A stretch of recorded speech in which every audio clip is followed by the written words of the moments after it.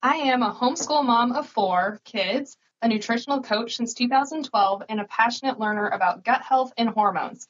My name is Corinne, and I am a miraculous mama.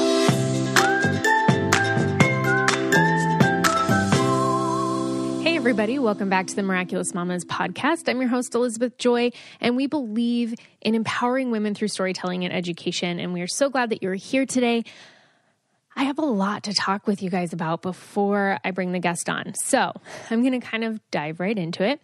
So, this last week was my birthday. I turned 33. And for some reason, I feel like that's a magical number. I've always had a thing with 333, and I see it everywhere. And I don't know. I was actually really excited to turn 33. It's crazy because I feel like I'm 16 at heart still. And when I talk to my mom, she's like, I feel the same way. I'm still just 16 at heart. So I don't know if internally, I mean, besides, or I guess mentally, if we really, really age, but I'm excited to be in my early 30s. I feel like your 20s are full of crazy lessons, and in your 30s, you're just more confident in who you are, and life just continues to get better from here. Um, you guys, so February has a lot of goodness in it. There's a lot of different awarenesses going on and things like that this month. But one thing that I wanted to talk to you about real quick is that February is National Condom Month. And for those of you that didn't know, um, condoms are 98% effective for birth control, whereas the pill is only 91% effective. So, if you're looking for a more effective form and you've been on hormonal birth control, condoms can be really effective. When they don't work properly, um, it's because you're not properly educated on how to use them. And a lot of guys use the wrong size because they think that they are different than what they actually are. So, when they are coming off during the act, that's because the sizing's not right or it's not put on correctly.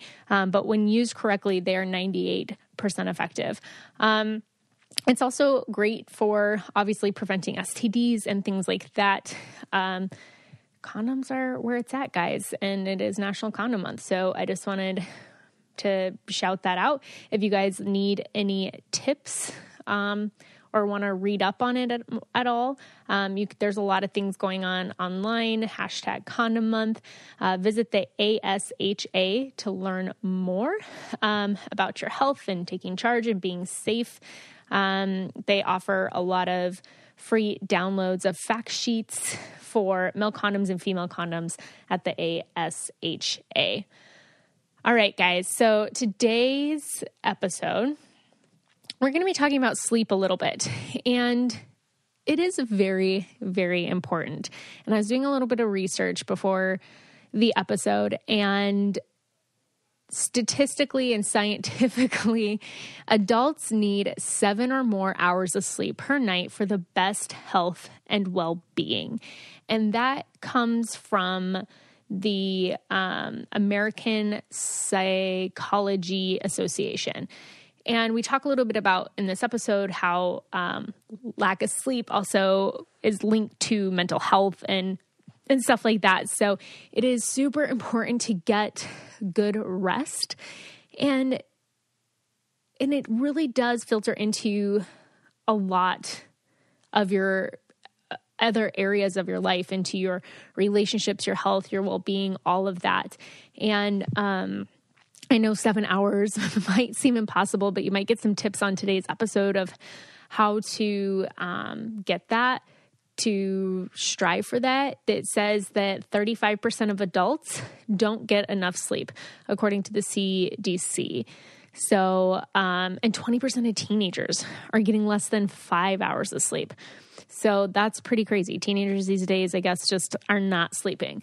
But if you look at sleep over the last, I don't know, 80 years, in the 1940s, the average was eight hours a night.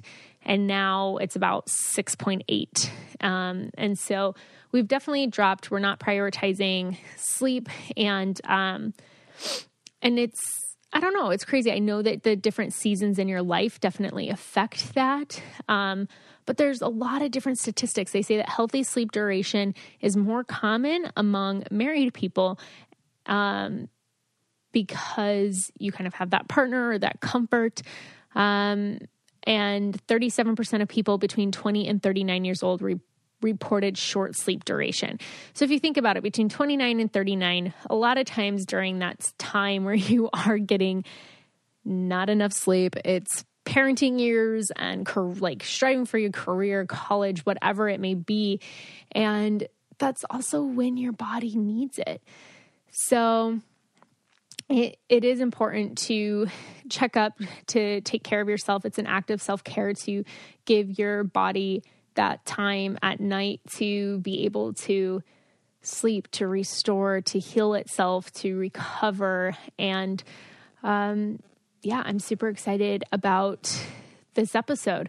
Uh, I have Chrissy Lawler on, and she is just so amazing. She's um, a sleep expert, she's a marriage and family counselor, and she just has a lot of information to offer us. Um, we don't only talk about sleep for moms and, and ourselves, we talk about sleeping for your kids and how that can be really beneficial when your kids are sleeping well, how you can also sleep well and things like that. So um, she just has a lot of information to offer us. And she does clarify at the end of it, we do talk about sleep training throughout it. Um, but it's not in the sense that you may think. It's kind of for lack of a better word. Um, because there's so many different methods and different things work for different people and she works with you in where you're at and and the type of parenting you you want to have and everything like that. But it's an amazing episode and I'm excited to bring her on. So I'm going to grab Chrissy. All right, everyone, I have Chrissy Lawler here, and she is the peaceful sleeper. Uh, she's a marriage and family therapist and a sleep specialist. She's uh, passionate about helping moms feel more empowered in parenting, and a huge part of that is getting some rest. And I would argue just a huge part of feeling empowered in your life in general is getting some good rest. So thank you so much for being here, Chrissy. I'm so excited for what you have to say and offer everyone listening. So thank you. Yeah, thank you so much for having me. I'm excited. Yeah, so I'd love for you, I guess, to kind of tell us in your own words what exactly you do and how you got into it.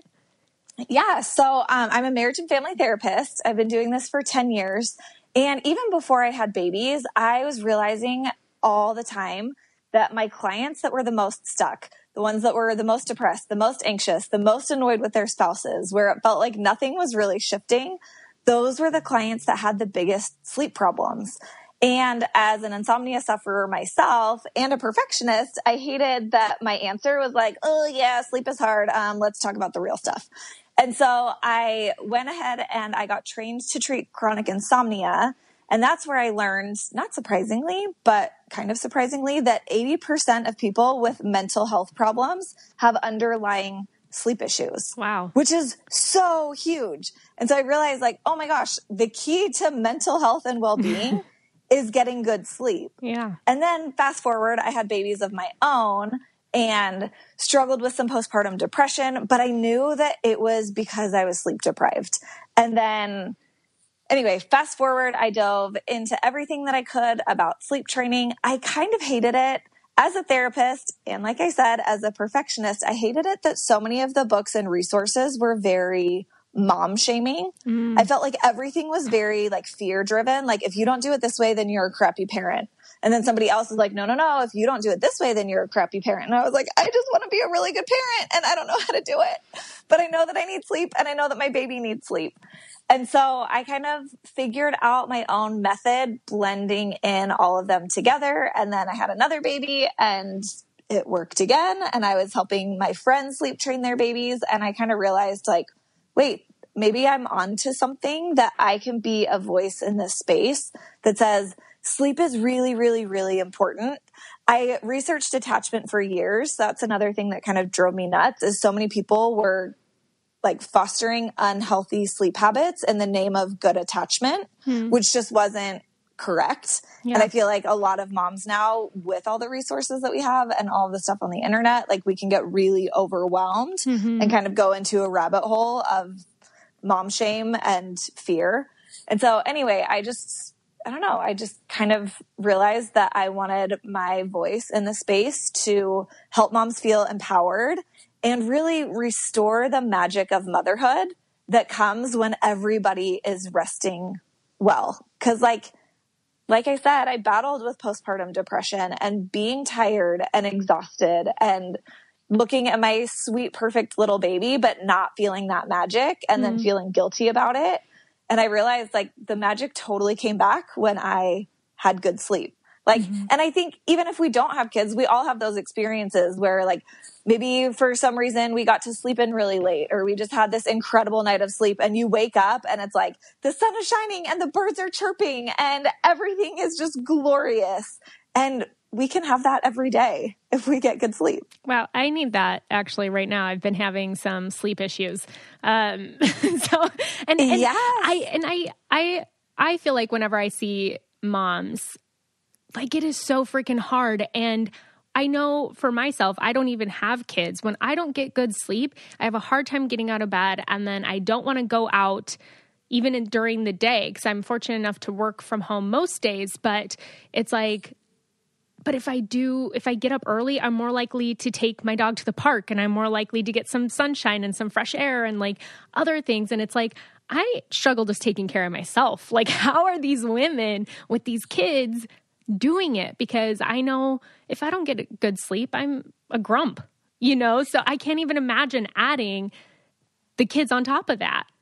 Yeah, totally. And I think like, yeah, when you set out to be a mom, like you envision all of these like happy, sweet moments. And there still are those moments, but like anybody that has kids, I think can acknowledge that sometimes motherhood is just a grind. Mm-hmm. And it sucks when it's like, ah, oh, some of these days are a beatdown but the days that we're well rested, when we can see the magic in the smudgy fingerprints, and uh, like my daughter, she's one and a half, she dumped out an entire box of cereal on the kitchen floor this morning. She was like trying to pour it into her bowl, and then she just dumped a whole entire box of honey bunches on the floor. It was a giant mess. But like, that could be super frustrating. Like, oh my gosh, I'm going to have to be vacuuming crumbs for days. Or like, oh my gosh, she's so cute. She just made such a giant mess. That's funny. And it's like the same exact experiences can either feel like a beatdown or just feel funny and lighthearted, totally depending on your mood. Mm-hmm. Yeah. And so, like, gosh, if we can just have more joy in motherhood, how much better is the experience, you know? Yeah. All right, I'm going to take a break from this episode to talk to you about one of my new favorite items that I wear. And it's so hard getting ready for work sometimes and deciding, like, okay, am I going to be cute or comfortable today? And thanks to Betabrand's dress pant yoga pants, you now don't have to decide, which is the life that I am talking about. They're stylish, comfortable, professional attire, and you shouldn't have to pick between comfort, and style. And with Betabrand, you don't ever have to sacrifice that. Betabrand's dress pant yoga pants are super comfy, perfectly stretchy, and they stay wrinkle free, which is very important for someone like me who does not iron. I hate to admit it, but I honestly don't even know how to iron. Um, I would use the dryer, but I love when I'm in a crunch and I have to be somewhere and these pants are wrinkle free and they always look cute and they are comfortable. So I can just throw them on. And whatever your style is, they have something to match that. You can choose from dozens of colors, patterns, cuts, styles. They have boot cut, straight leg, skinny, cropped, even more. They even have a pair with eight pockets. That's right, eight. And I like it because I usually have chapstick in at least two of them. but now they also offer premium denim with the same flexibility and comfort as yoga pants. And now you can join nearly 1 million women who have introduced dress pant yoga pants into the workplaces around the world. And right now, our listeners can get 20% off their first order when you go to betabrand.com slash mamas. That's 20% off your first order at betabrand.com slash mamas. Millions of women agree these pants are the most comfortable pants that you'll ever wear to work. Go to betabrand.com slash mamas for 20% off. Now back to the show. I liked how before you brought up mom shaming, and because I feel like – that's where the hard thing is because there is it we're it's awesome that there's so many resources out there but it can also be overwhelming And so much of it is, yeah, if you do it this way, basically you're doing it right. But it, no, if you do it that way, you're doing it right. And then it's like, okay, mm-hmm. so any way I'm doing it, I'm a crappy parent and I'm just trying yes. to survive. And it, and, and moms do kind of judge each other and i get it because it's everyone's doing the best that they can so when you're saying oh well i did it that way you're almost like protective over your experience of like, well, I didn't do it that way and this is working just fine for me. Thank you. like totally. You know, and it's yes. like, no, I'm not judging you. It's like we can have different experiences, do things different ways, you know, but when it comes to sleep, that is scientifically proven. That's when your body heals, when it restores. And now all you hear is I didn't sleep for eight years while I was yes. having kids and breastfeeding. And totally. So it's like, how how do you function during those eight years? Hmm. Yeah, yeah. It's really it's really tough. So, and that's one of the things that I talk about a lot is that there is no one size fits all approach because all parents are different and all babies are different. And so I feel like I really use my therapy hat a lot through this process that says, tune in, trust your mom gut. Like you are going to have those mom instincts that are going to lead you in the direction that you need to go. But we also need to be conscientious and careful about instincts because, you know, nobody likes to hear their baby cry, right? That is a parenting instinct. But like that doesn't mean that your baby's actually in danger or in harm's way. And so if we can really like really i don't push one approach more than another like if you want to do full cry it out i'll teach you how to do that if you want to do modified cry it out which i prefer i'll teach you how to do that if you want to do a no cry sleep approach i can teach you how to do that but i kind of just try and teach moms the basics of what their baby's sleep needs are how to tune into baby's cues and how to figure out a parenting approach not just with sleep but across the board that works for you and is benefiting your child because we do need our kids to be gaining independence and resilience. We need them to learn self soothing. Even if you want to do a no cry sleep approach, our kids still need to self soothe because like they're going to get made fun of on the playground at kindergarten or they're going to fall and they're going to bump their knee. Like we're not going to be there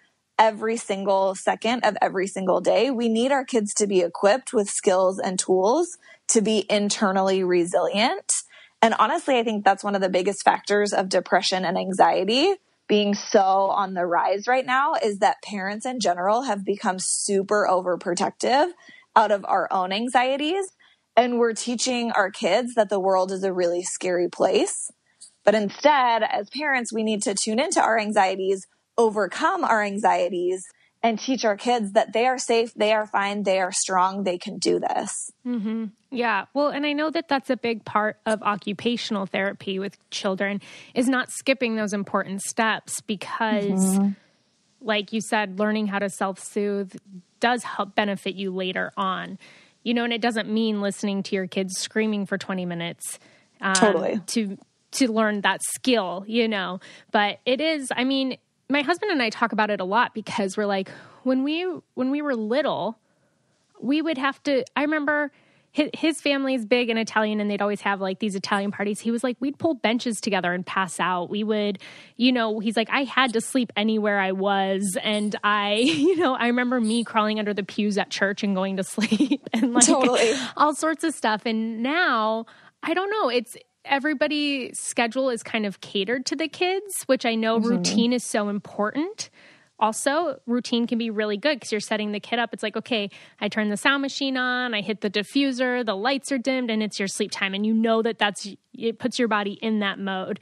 But mm-hmm. like, how, how do we not completely lose ourselves in motherhood to where like, you know, you want your kid to sleep well so that you can sleep well, but then your life's revolved around their sleeping?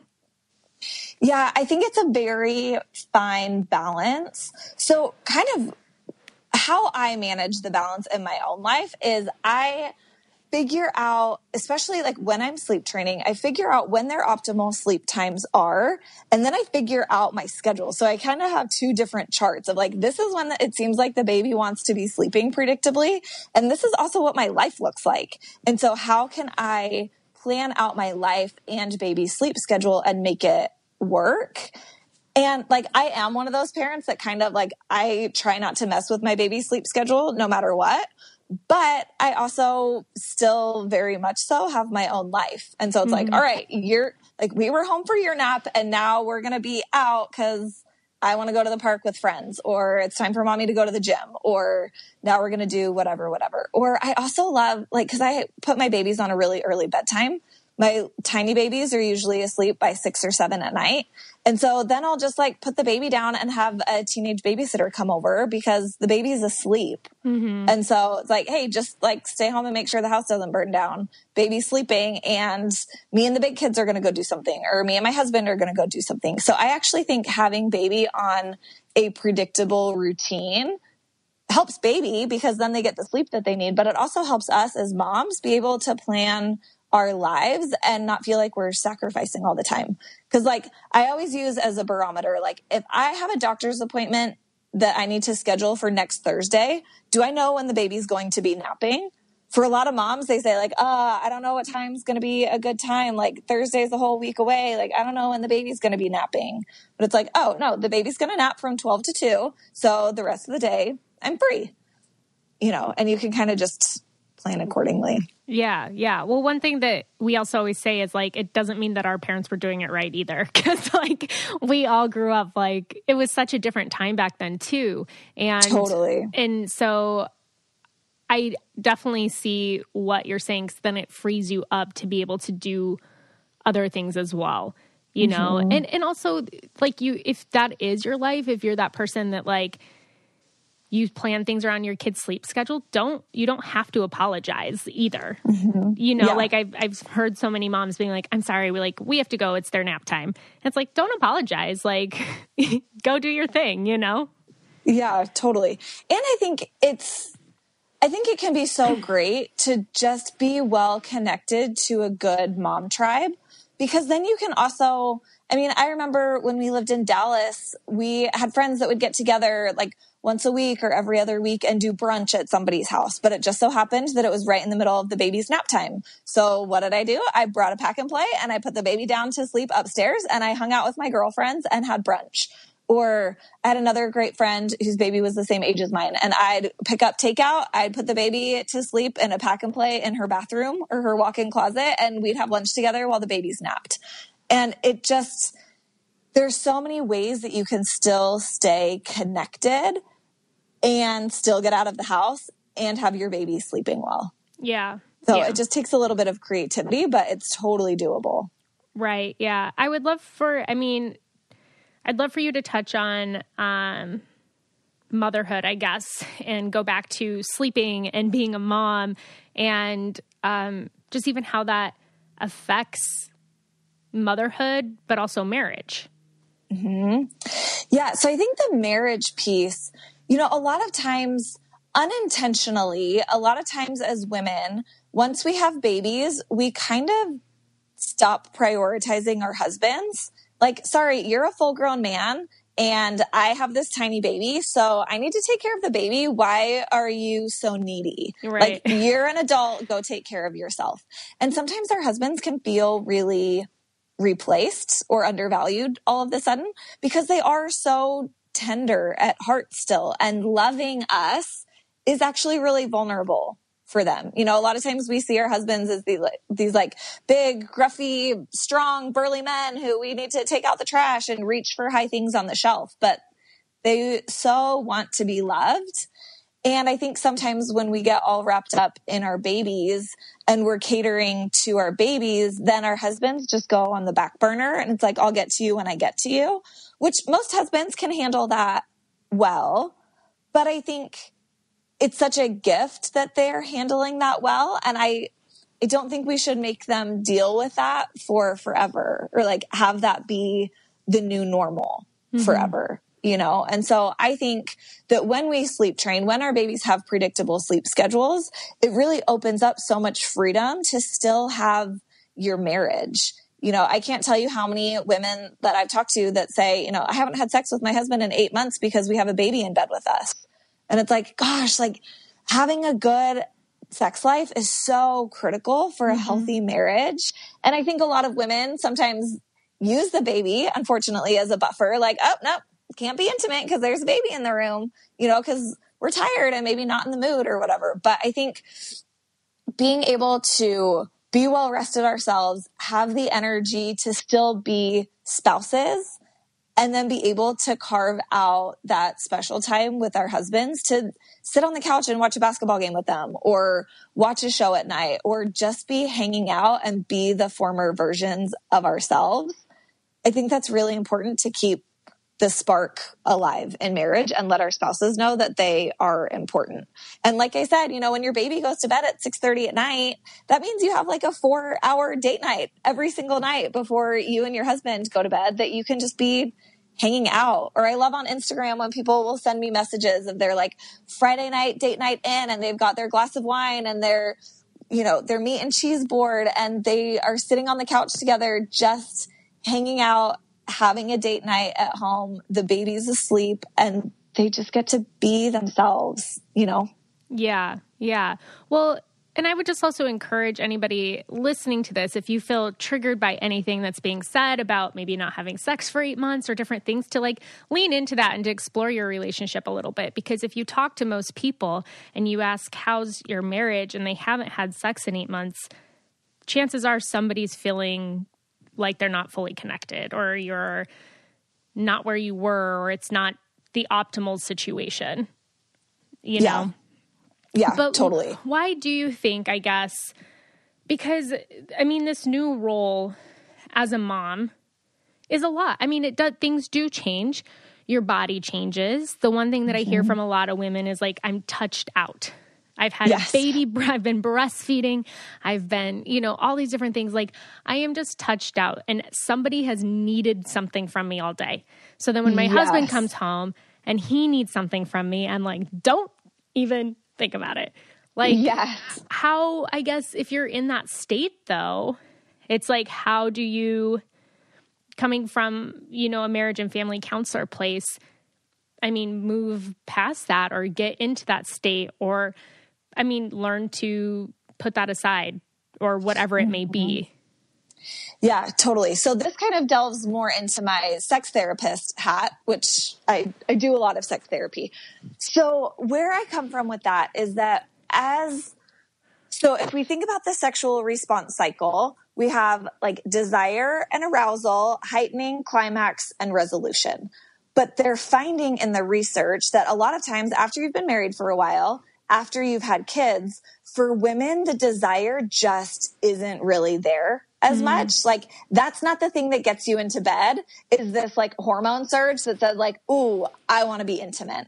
And so they've changed the word for willingness, which I think is really empowering for women that I don't have to base my sexual expression on this burning desire that I feel within my body. I can base it on willingness do I feel willing to give myself to my partner? Do I feel willing to connect with him in this way?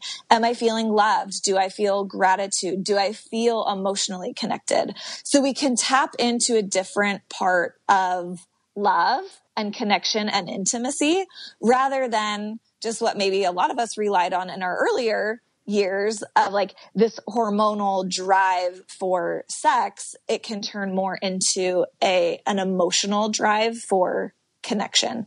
I think also remembering that if you think about our biological instincts for sex, women I think biologically, women know that sex leads to babies, mm-hmm. right? And so we do this internal check of do I feel ready in my life right now to have a baby? Like I haven't taken a shower in two days and the baby's been screaming all day and I'm exhausted. Like, can I add another baby to this chaos? Absolutely not. So back off, buddy. Mm-hmm. And so, so women need to feel loved and connected and a certain level of peace and calm before sex feels like a good option. But if you think about that biological response for men, men feel loved and connected through sex because mm-hmm. wow, if a woman is willing to have sex with me, that must mean that that she actually loves me, that she chooses me.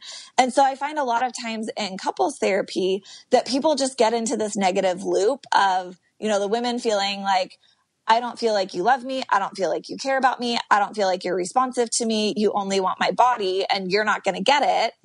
And then men feeling like, I don't feel like you love me. I don't feel like you want to connect with me. I feel like you only want my help around the house or my paycheck. And so you want me to like tell you nice, sweet, tender things when you have been rejecting me? Like, nope. And I don't think anybody does it consciously, mm-hmm. but we mm-hmm. just get in these loops and these cycles of disconnection and this subconscious thing of like, you're not meeting my needs, so I don't really want to meet yours. And when both partners are standing in that place, then it just fosters disconnection. Mm-hmm. Yeah, no, that makes that definitely makes sense. And the, the, thing that you hear from a lot of people is once they get back into the sex, the sex mm-hmm. into the sex, it's um it comes easier again. You know, I totally. think it's almost like working out. Like when you haven't been to the gym in so long, it's so hard at first to bring yourself back. Yeah. And the same can be true like with your sex life. When you haven't had it for so long, your your hormones do change, but when you start bringing it back, those sexual hormones also start to your libido changes as well. Mm-hmm. Yeah, and I would just say, like you said before, like for anybody that's listening, if this is triggering for you, like lean into that and figure out because there are a lot of women that feel so incredibly disconnected from their spouses, and we can have happy marriages you know, so go to counseling, read books, have good conversations with your spouse. Just like, you know, sleep can restore the magic of motherhood. I think a good, healthy, vibrant marriage can restore so much peace and clarity and joy in our lives. Yeah. No, that def- excuse me, that definitely makes sense. And I, I was just having a conversation earlier with um, someone close to me, and we were talking about marriage counseling because I still feel like there is some sort of stigma around getting help or having counseling. But sometimes it's not even necessarily that something's wrong. Sometimes it's just maintenance work in your marriage. And totally. sometimes like situations change. You add a kid, you add a couple kids to it. And it's like, wow, how we communicated with each other when it was just us is very different. How we communicate now and our needs are different.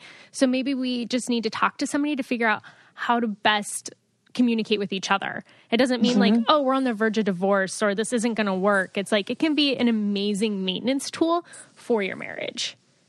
Totally. I talk all the time about, yeah, marriage counseling as maintenance. And like, if you think about it, we insure everything in our lives that are important to us. We have health insurance and car insurance and homeowners insurance and like all of the things. And so I think that couples should just budget in marriage insurance.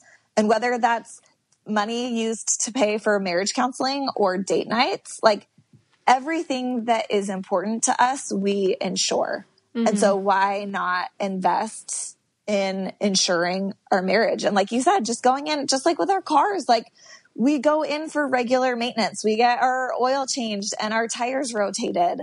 And we also go to the mechanic when there's something big happening, but it's important to have regular maintenance. And so my favorite sessions are those maintenance kind of sessions where couples are like, Hey, we actually really love each other and we want to keep it that way. So right. we're going to come in once a month or once every two months and we're just going to learn some skills. Like, I think that's amazing. That's so inspiring for me. Mm-hmm. Yeah. Well, and I feel like sometimes there's just issues that every once in a while continue to cycle back around you know and you kind of work through it and then months later it cycles back around and totally and, and so it's like okay maybe we should dive into that a little bit and so mm-hmm. that we can stop that cycle you know because there's always going to be something we're always changing and growing and you know and and life changes and there's different seasons of life you know maybe somebody lost their job or you are entering motherhood or whatever it is and so it's like if you recognize patterns or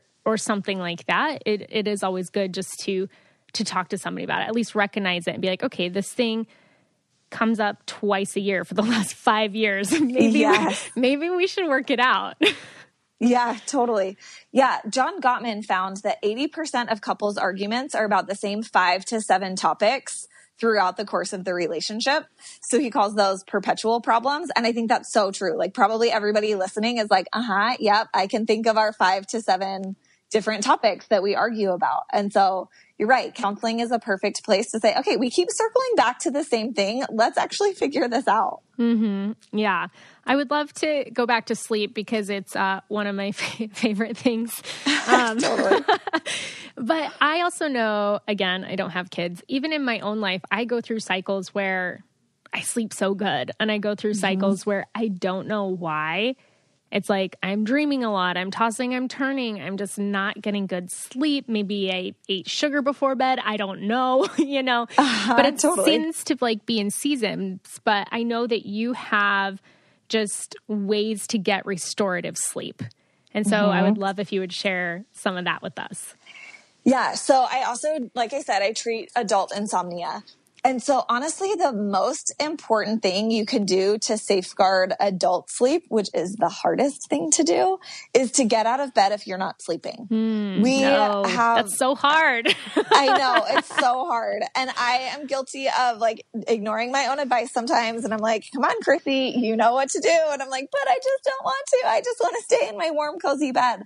But the problem is that when we we associate things, right? So like if you have ever taken like an early psychology class with Pavlov's dogs, like this experimenter, he rang a bell and then he fed the dogs and he rang a bell and he fed the dogs and he rang a bell and fed the dogs. And then he rang the bell and noticed that the dogs started salivating, like they were anticipating food.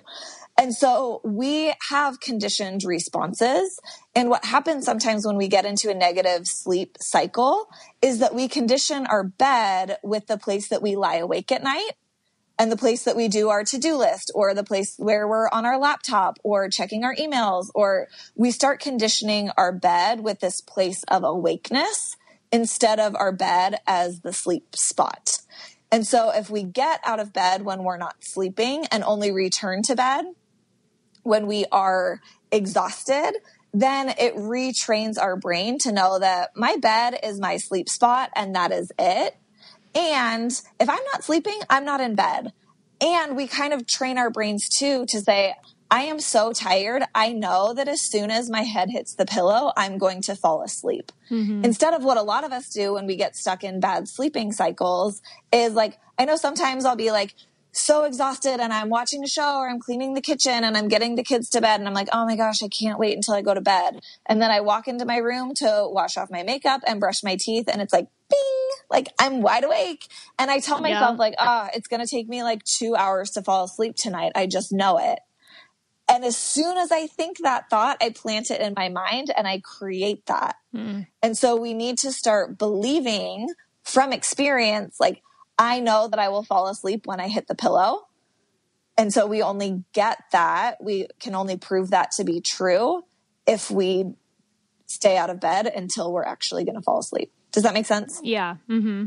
So it sucks. Like, I'm not going to pretend that it's easy, but it's actually extraordinarily effective and we can nip uh you know because like you said we do kind of go in cycles and i'll work with people a lot that it's like three months out of the year i have this terrible insomnia and then it just gets better and i go about my day but without fail once february hits i'm going to start having insomnia again but just doing some of these little interventions i talk all about it in an insomnia course that i have if people want to check that out but just doing some little interventions can reverse insomnia in like two or three days sometimes. Wow. Yeah. Yeah. I know. Well, because I know for me, what's been happening lately is I go to bed and it's kind of a light sleep, and then I'll be dreaming or something. And then I've been waking up around three, four in the morning, going to bed around mm-hmm. midnight, waking up at three, four in the morning, and then just laying and then tossing and turning. And then I reach for my phone and I'm like, what do I have uh-huh. to get done tomorrow?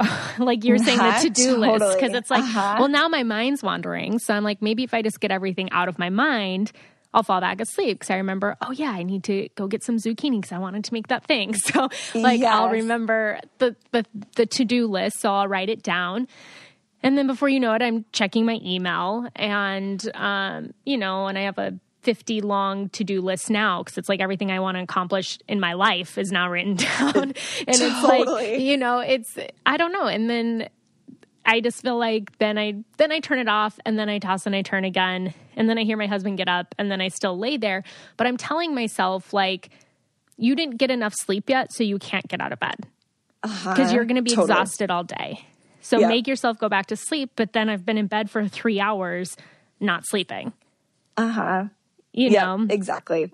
And so, really, and like I said, this is the hard thing, but really what you need to do is that day, you say, okay, I'm going to be exhausted and I can survive exhaustion. I'm going to get out of bed and I can come back to bed if I, you know, because a lot of times, like, you maybe you get up and you write your to-do list on the kitchen counter mm-hmm. and it's still dark outside because it's three o'clock in the morning and everything is quiet and you're like this is bs like i want to go back to bed. I'm exhausted. Mm-hmm. and then mm-hmm. you go back to bed and you actually fall asleep. Mm-hmm. and so yeah sometimes we catastrophize our our fears of being tired. Like oh my gosh this wasn't enough sleep. I'm going to be so tired tomorrow. But if we can just reframe and say you know what yeah, I am going to be so tired tomorrow. And you know what? I bet I'm going to get awesome sleep tomorrow night because I'm going to be exhausted and I'm going to fall asleep and I'm going to stay asleep all night long. And so this one night of really terrible sleep is going to get me a night of awesome sleep tomorrow. And that's a trade off that I'm going to make because for some reason my brain thought that it should wake up at four o'clock in the morning and we don't do that. Right, right. Yeah. Okay. I'm going to have to practice that tonight. Um, what do you say, I guess, though, for because I've heard tons of different theories and whatever. So for new moms, let's say I just brought a baby home from the hospital, and mm-hmm. so I'm waking up all the time. It's mm-hmm. like, how do you get rest? I mean, even if you're waking up, feeding the baby, going back to sleep, um, like, is there a certain point where it's like you should just get up and get ready for the day and whatever? So with brand new moms, I think all the rules kind of go out the window because we do need if you know if it's your only baby and you have the ability to sleep when the baby sleeps really getting good sleep is going to be your biggest protective factor for your mental health. And so i think sleep as much as you can when you're a brand new mom. Just be careful that your total hours of sleep during the day isn't creating problems for you at night. Mm-hmm. Because if you're getting four hours worth of naps during the day, then your body's not going to need six to eight hours of sleep at night, even if it's broken up. And so sometimes if we compensate too much, then it can throw off our nighttime sleep. But I think for new moms, that's honestly not usually a huge issue because I think new moms put a lot of pressure on themselves. Like, oh, the baby's napping. I could sleep or I could also do the laundry and shower and put on my makeup and be super mom and meal plan for the next week because I'm a mom now.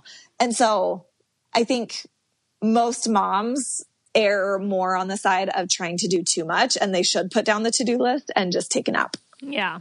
Mm-hmm. But then once you add another kid to the equation, yeah. It's a little bit then harder. You just grab another cup of coffee and power through. right. And I feel like though that's the thing that that is so hard because, you know, we're talking about how sleep is so important. It's been linked to mental disorders, to postpartum depression and anxiety, um, marital problems, like totally. all sorts of stuff. But when you have kids that are waking you up in the night, it's like, how do you power through all of that? Yeah. So, really, one of the biggest pieces of my method is that for babies, sleep begets sleep. So, the better they sleep, the better they will sleep. A lot of new parents treat baby sleep like adult sleep, where I said, like, no, we don't want to be in bed if we're not sleeping. Like, you know, we need to sleep deprive ourselves so we'll get better sleep. But that is the opposite for our babies because then they get wired and tired. And so, like, most moms have probably had this experience where your baby's so tired and you know that they're exhausted and they're just crying and they're not falling asleep and you're like rocking them and you're like, what the heck is going on? I know that you're so tired. Just shut your brain off and go to bed. And it's because they've gotten in that overtired state. And so one of the biggest parts of my method is to optimize daytime sleep and that will benefit nighttime sleep. Mm-hmm. So even for newborns, before we're doing any cry it out at all, because our newborns don't know how to self soothe, if we can optimize daytime sleep and make sure that we're getting good full feedings, then a lot of times those night feedings just drop off on their own. Mm-hmm. Like for the first month, it's gonna be kind of a crapshoot no matter how you slice it. Like yeah. you're just gonna be up a lot. But really after that, after like four to eight weeks, you really should, you, you can only be waking up once or twice a night to feed the baby. So these like, you know, the baby sleeping or waking up every two hours in the middle of the night to eat, usually that's a problem with daytime sleep. Mm-hmm. And so the, the period of powering through being so exhausted can and should really only be like four to six weeks in the beginning. And then things should start to gel and fall into place. And for most of us, like, okay, I can handle a really tired month. I'll nap when the baby naps. I'll ask for help. You know, a lot of us, I think this goes into like more of just parenting and relying on your mom tribe. But like, if you had a girlfriend that said, I'm so tired, can you come over and snuggle my newborn while I take a nap? I think any of us would be like, heck yes, I want to come snuggle a baby. Mm-hmm. And so, really, we just need to ask. But if we can get good sleep habits in place and rely on our mom tribe, it's really just that first month or two where we're really in survival mode. Mm-hmm. And then everything can start to gel after that. And especially after all those nights of broken sleep, like if you're only waking up once or twice at night to feed the baby for 15 minutes and then they're going back to bed, like you're feeling pretty fine, mm-hmm. you know? Yeah. Um, I have a couple more questions. What about, yeah. um, so I guess there's like certain phases with babies where they have sleep regressions. Mm-hmm. Um, I've had some moms in our Facebook group talking around like 15 to 17 months. There's like a sleep uh-huh. regression. And I think there's uh-huh. one before that. Do you have any mm-hmm. tips for the women kind of dealing with that? They're like, I've been getting great sleep and now my kid won't sleep. like, what the heck? Yes. So I have a guide on that on my site too. But basically, we have the four month sleep regression, which really is the perfect time to sleep train because that's when newborn sleep shifts to older baby sleep. Got it. And they're ready for an earlier bedtime. They're ready to learn how to initiate sleep on their own because they're capable now of deeper sleep. So the four month sleep regression is kind of the big one that everybody talks about. There's another one around eight months and another one around 10 months and another one around 12 months. Oh and gosh. then like 15 to 18 months. But usually sleep regressions can be very short lived. Yeah. So the very best thing to do is just stay consistent. We don't need to like read into the sleep regression and say like, oh no, everything was working well and now it's not. So I need to change a bunch of stuff. Usually those sleep regressions happen when our babies are on the cusp of some milestone. That's why the 15 to 18 month one, and it doesn't last those three months. It's just, right. it hits some babies around 15 months and some closer to 18.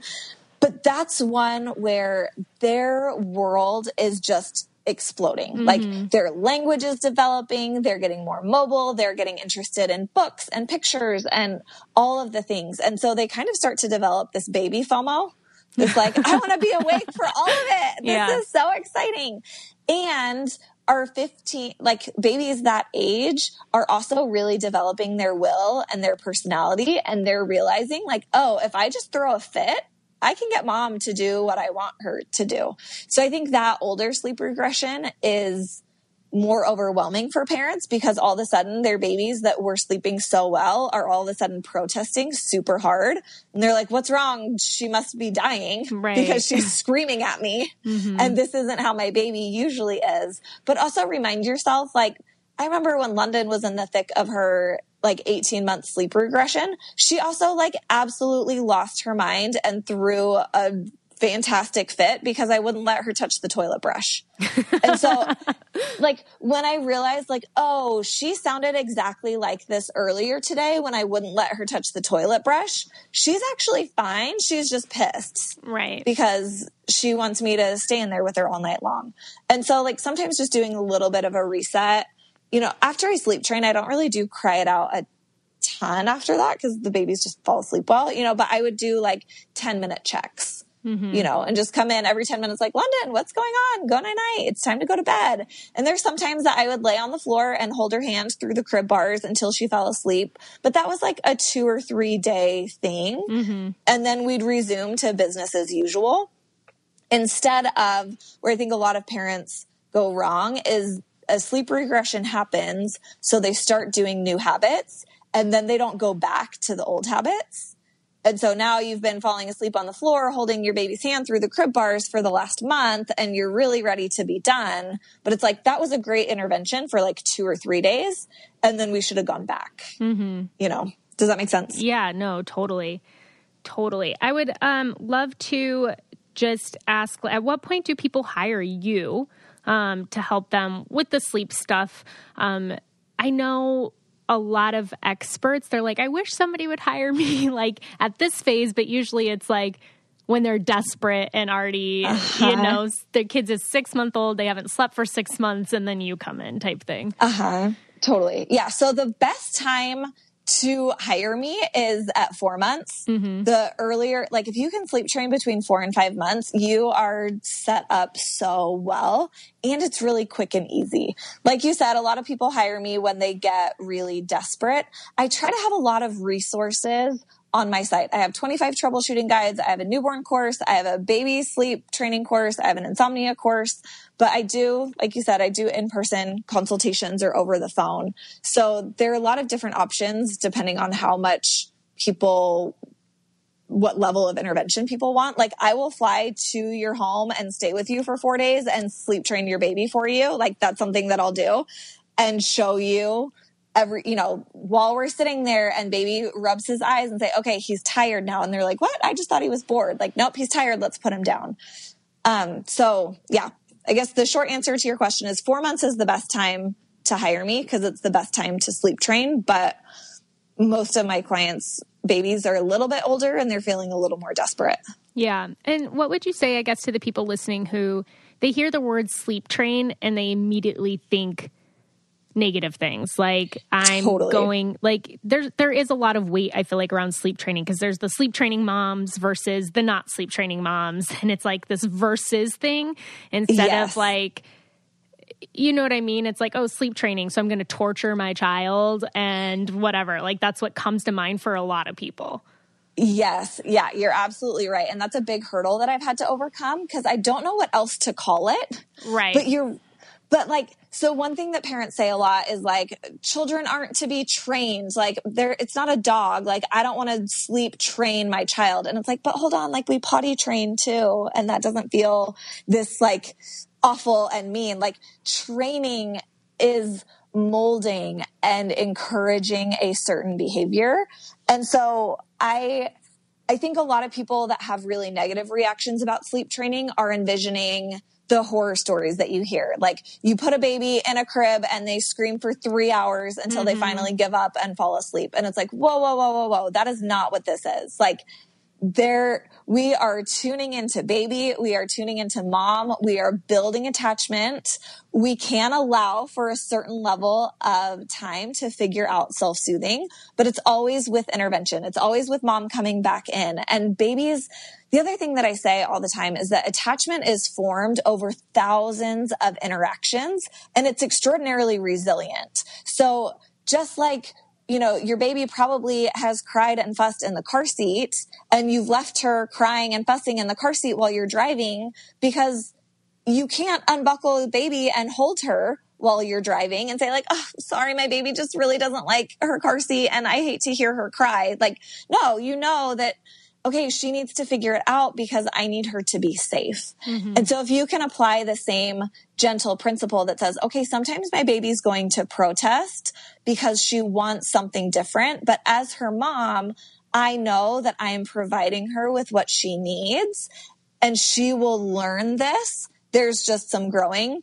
discomfort, then we can feel empowered and we can let go of some of that guilt to know that this isn't this awful, selfish, baby torture that's only benefiting us. It's, it's calculated and it is so responsive. Mm-hmm. Does that make sense? Right. Yeah. And and like you said, it's tuning into baby, tuning into your motherhood, and it's it. Nothing is one size fits all for everything, but it exactly. is figuring it out. Like, okay, maybe this can work for us. You know. Yeah, exactly. And like I said, like if parents don't want to do any cry it out, if they just don't feel like their baby's old enough and they don't want to teach them to self soothe yet, that's fine. You can sleep train without crying it out. Mm-hmm. And so, like, it, it doesn't matter how you optimize sleep as long as you do. Right, right. Yeah. No, that makes sense. And thank you for explaining that because I know that as soon as a lot of people hear sleep train, they're tuned out. Totally. Yes. You know, because it's like, oh, we don't do that or I don't believe in that. And it's I mean, the point of this podcast is to bring on different experts such as yourself and different people to just educate us on the information out there and maybe even some of the myth the myths or misinformation out there so that we can make the best informed decisions for ourselves, our families and be, you know, the best moms and women and friends and supporters that we can. Yes, absolutely. Yeah, awesome. Well, what is your website if people want to check out all of the resources that you have on there? Yeah, so I'm the Peaceful Sleeper. So the website is thepeacefulsleeper.com. And then on Instagram, I'm at the.peaceful.sleeper. Awesome. Thank you, Chrissy, so much for coming on and for sharing this information and telling us all about it. And I'm definitely going to check out the insomnia course. I don't feel like I have insomnia. It's just like weird seasons. Like I'll have a few weeks of not good sleep. And then mm-hmm. I don't know. I don't know what's going on lately. yeah, I bet you'd be like a really quick fix that just applying a couple principles can just reset you and get you back to sleeping well. Yeah, because I love sleep and I just feel like I feel so much better. I'm just a better woman when I have totally. yes, totally. I think we all are. yeah, yeah. So I'm gonna definitely have to check that out. So thank you so much for for coming on. And for those you guys, we didn't tell this at the beginning, but I had no idea that she lived in Las Vegas, which I used to live in Las Vegas. And then my friend from Vegas met her on a flight to Whitefish, which is where Vito and I got married. It was like, oh my gosh, you have to talk to this lady. So that's how we ended up exchanging information and meeting each other. So you just, you never know how you meet people. I know. That's so fun. It's such a small world. I know. Okay, awesome. Thank you so much for coming on.